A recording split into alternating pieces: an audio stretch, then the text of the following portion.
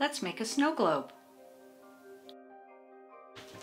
Hi, I'm Suzy Dingle, writer, garden coach, and landscape designer, bringing you inspiration and information to help you better utilize, enjoy, and improve your outdoor space. I'm also bringing you today a snow globe that we're going to make, and I'll show you how to do this. I consider these sorts of uh, floral arrangements and, and little objects as the accessories in a garden and landscape design means more than just putting in plants and hardscape. It also means putting in the jewelry that makes our gardens sparkle.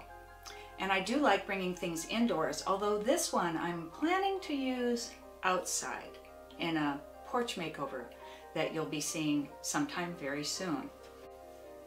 I raided my husband's acupuncture office to find these cups. They're used therapeutically, uh, but you didn't come here to hear about that. Uh, I think you want to see me make a snow globe, and I, I'm happy to do it. I'm excited to do it. I've been looking forward to it because I'm also going to be using what I consider to be uh, non-toxic or low toxic and fairly eco-friendly materials. And I will talk about that another time. This is the time for celebration and joy, and we don't need to get heavy. So let's get light, as light as snow. Here we go. Some of the materials I'm using in this project are, of course, my husband's glass cup. This happens to be a vintage cup.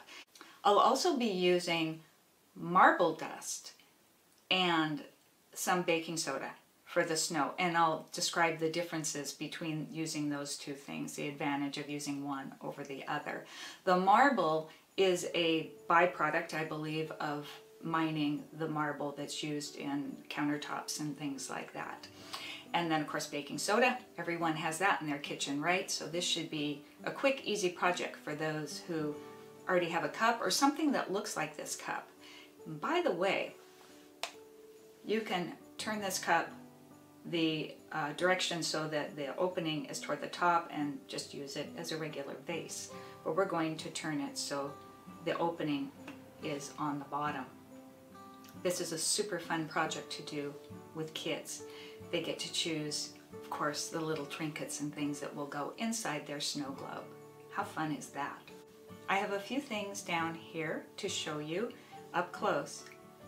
But first, I want to demonstrate how I get the inside of the globe to look a little bit snowier. Here we go.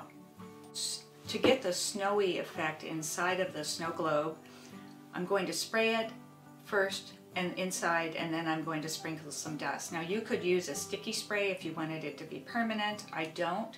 I just want it to hold there for several days. It can actually hold for a week or more before you really start to notice it falling, but if it does, it just looks like snow, right? That's fun. The effect I'm going for is, oh, a little bit coming out, is that. It's just a little dusting of snow inside. That was done with the marble dust. This was done in this goblet with just a little bit of baking soda. Now this, if it gets wet, if the baking soda gets wet, it's just going to disintegrate. That's the disadvantage of using baking soda.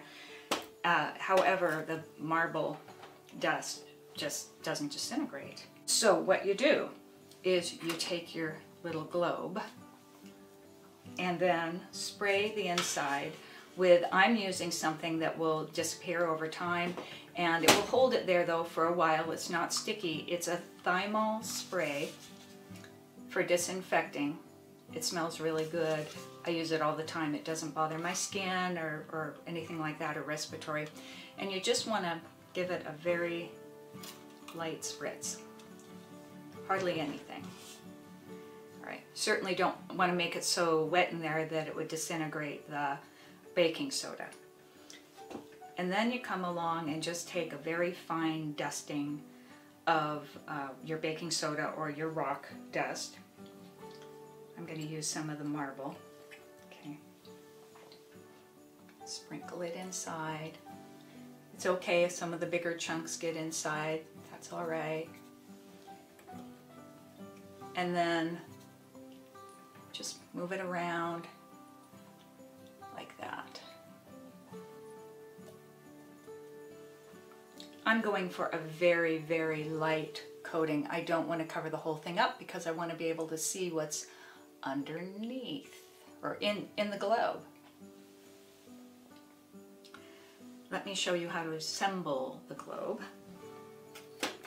You could use anything as a base for the globe to hold. This is an antique or vintage saucer that I've just put some baking soda into and then the globe would go, uh, your object would go on top and then the globe would go on top of that. I'm going to be using a basically a cupcake stand I think it would be mostly. It has a dome that goes on top and this would be pretty too. If you don't have a globe, a round globe, just use um, a kind of uh, bakery stand like this. Or you could even use a an apothecary jar, a terrarium type jar, anything like that that gives you the effect. Don't go feel like you have to go racing out to buy anything. Just make do with what you have, get the concept down, and then probably you'll run into a, uh, some of these vintage cups eventually. So I'm using, I'm using this um, uh, cake stand or this little cupcake stand and I've already sprinkled some of the rock dust on it and some of the little chunks to make it look like it's rocks covered with snow. Now, you could make this a really simple display by just putting in some natural objects, you know, star anise, I'll show you that up close. You can, I'm gonna go the, I'm gonna go this direction, the warm and woodsy, a little bit of some greenery. I was looking for a mercury glass ball, but I don't have anything that's small enough to, to fit inside the cup but you could use things like crystals or something colorful. You could use something like this. That's a matte finish bisque acorn, which is really sweet. You could use jewelry inside. That's always blingy and fun.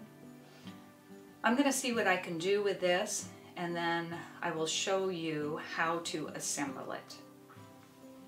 So this is the tricky part, is getting the dome on top with the inside, what you want to put on the inside to stay where you want it to stay. There's all kinds of things you could use for that. You could use wire and you could use um, glue and stuff like that. I'm not going to do that. I'm making it simple. All right. I am going to take my little bit of greenery and measure it inside the cup I see that I need about that much, so I'll clip it off right there.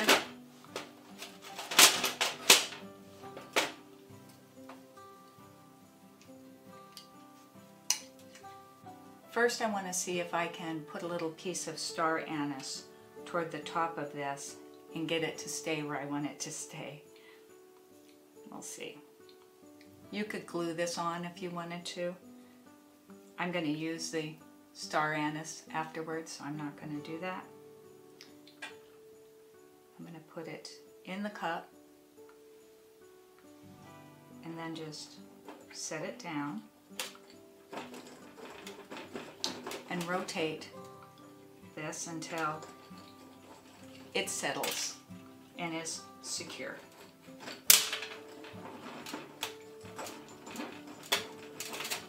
Okay, there it is. Let's see what it looks like. Okay, the anise stayed where I wanted it to stay. And it's just a little, this is just a warm and woodsy little bit of green and brown inside of there with the white. If I wanted to make it a little more blingy, I would add some silver or I would add some crystal or something like that. Let's do that. The other way to assemble this is to put the items in there first and then put the snow globe on top of it.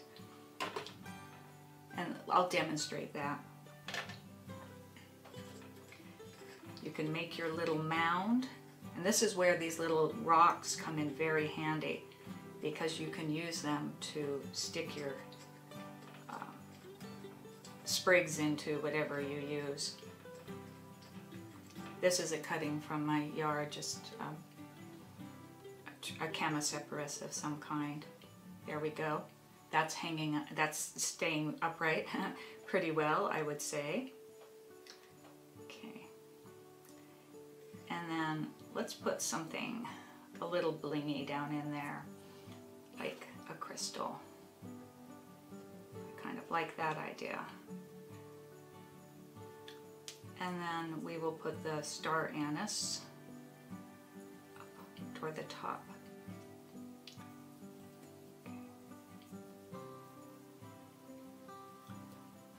fiddly, isn't it? Maybe I should have glued it, but I don't want to. Gonna take the globe and just tuck it down right like that, very carefully, so I don't jostle the inside too much.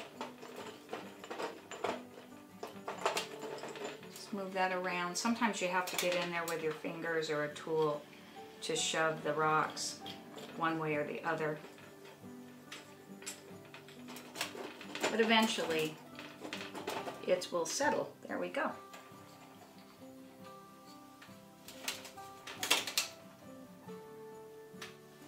You, of course, will probably have all kinds of ideas of what to put inside of this.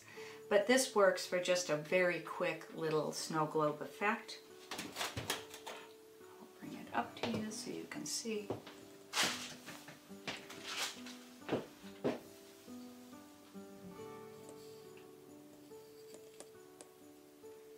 There we go. Hey, how about some crystal over there?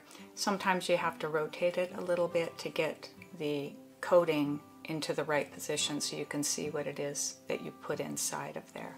There we go. I've fiddled it, turned it around to where I got it to where I can view the star anise that I put inside. And we're not quite finished yet. A few little touches to put on top. You could either do it on top, but that's not what I really meant. What I meant was around the edges to make it look like perhaps something is poking out from the inside or has escaped.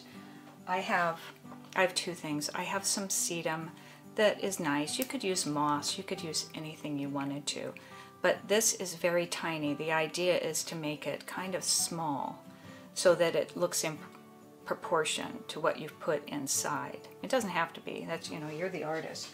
So we have some sedum and also some just little tiny bits of dianthus carnation foliage that looks really good right now and it's that silvery gray.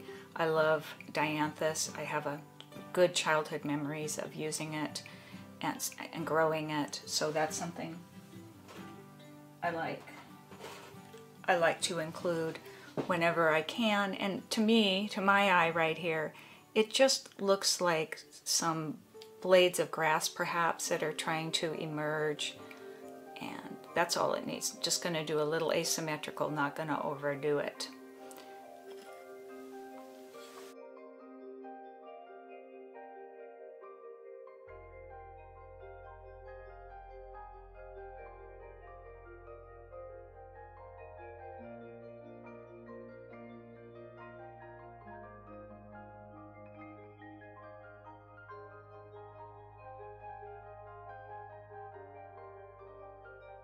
You don't need to put items under the globe either. You could just put them around the globe, especially if it's too difficult to get it to be arranged inside.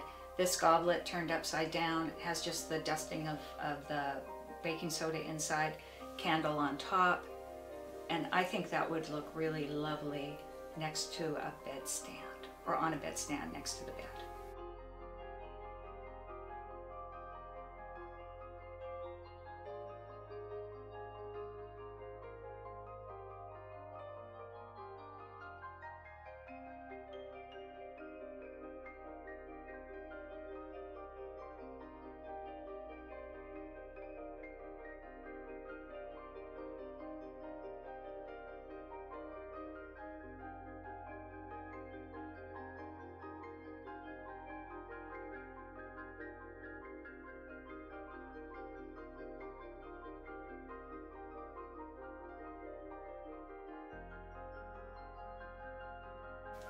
I hope this demonstration of the mechanics of how to put together a snow globe-like arrangement has inspired you to look around your home at the objects you already have to see if you can do something like this.